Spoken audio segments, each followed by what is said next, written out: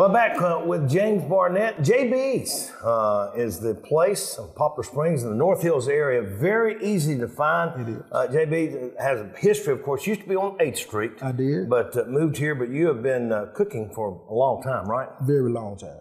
Very, I've been, I mean, pretty much since I, I mean, since I've been able to stand up at the stove, man. Like I love to eat, and so bacon, homemade. I, I just love to cook, and so anything I thought I wanted to eat, pretty much just cooked it myself. You got a for real grill right outside too. I do. Now you don't you don't play around. I don't. I call it the JB three thousand.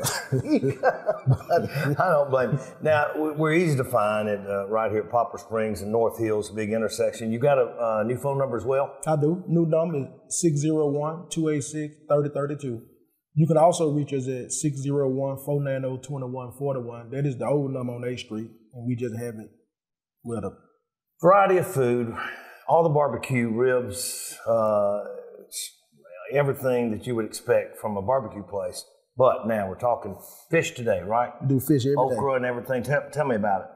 We do today. This is catfish fillet. Right. We do whole catfish, I can't. What, whiting. Come in, Lindsay. Just let me get a little piece there. Okay. see that? Thank you, Mr. JB. I'm gonna dip out. Yes, ma'am. What I'm talking about right here. You said it. So, fish sandwich, and again, has to be white bread. Has to be. Only white bread, no roll. Cooked to perfection. Wow. So, if you want to take a little break from barbecue, fish is the way to go. By the way, they got whole catfish here.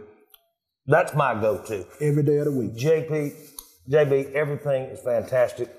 JB's Barbecue, you want to come here, it is on Poplar Springs, and you will love it. We'll see you again next week. Thank you.